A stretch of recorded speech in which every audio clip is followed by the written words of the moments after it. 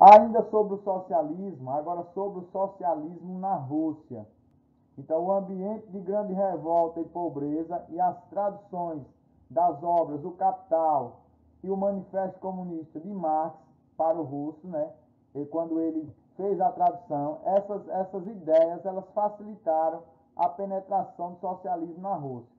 Com base nessas ideias, alguns intelectuais e operários da Rússia organizaram-se em vários agrupamentos políticos de tolerância socialista. E no ano de 1898, esses intelectuais e operários se juntaram e formaram o Partido Operário Social Democrata Russo, o POSDR. Então, este partido foi criado com objetivo né, de implementar na Rússia as ideias socialistas defendidas por Marx e Engels.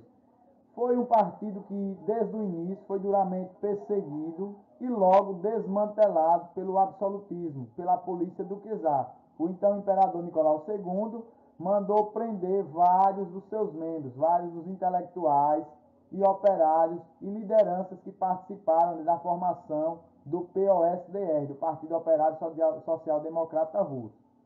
Mas os principais líderes, o Vladimir Ulyanov, o Lenin e o Bronstein, o Trotsky, deixaram a Rússia, foram exilados, né, foram expulsos do seu país e voltaram a se organizar no exterior. Esses foram expulsos aí no final do século XIX e só retornaram à Rússia né, durante a Revolução de Fevereiro e a Revolução Bolchevique em 1917, que iremos abordar mais adiante.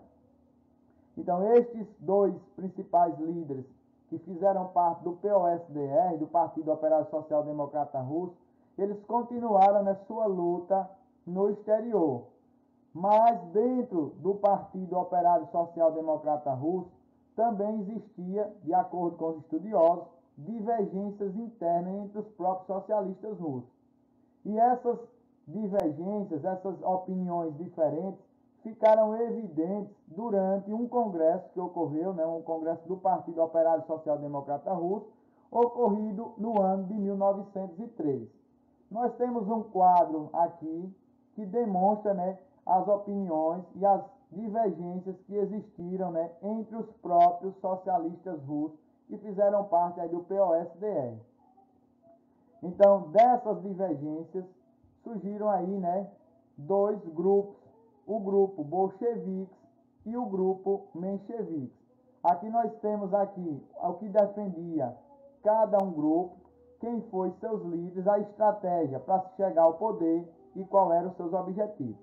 No caso dos bolcheviques, que significa maioria em russo, o principal líder era Lenin, defendia como estratégia confiar a luta revolucionária a um partido centralizado, partido disciplinado, que fosse capaz de unir os soldados, os operários e os camponeses. Essa foi a estratégia defendida por Lenin.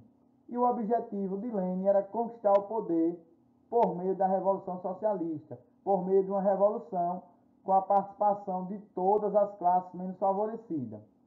Já o Martov era líder dos mencheviques, que significa minoria em russo. Segundo ele, a estratégia era promover uma revolução burguesa com a participação de comerciantes, de empresários, né, do ramo de, de, de navios, né, transporte, é, indústria e comércio e contra o quesarismo, ou seja, contra o governo, contra o absolutismo, e posteriormente chegar ao socialismo pela via eleitoral, ou seja, através de uma, de uma eleição, né? de, uma, de, uma, de uma consulta popular, de um plebiscito, era essa a defesa do Martov. E o objetivo era aliar-se à burguesia, aos ricos, né? aos empresários, aos capitalistas, para chegar ao poder e depois evoluir para o socialismo por meio das eleições. Então, essas, esses foram os pontos principais das divergências entre membros intelectuais do Partido Operário Social Democrata Russo. Por essa razão, no Congresso realizado em 1903, o, o partido foi dividido em bolcheviques e mencheviques.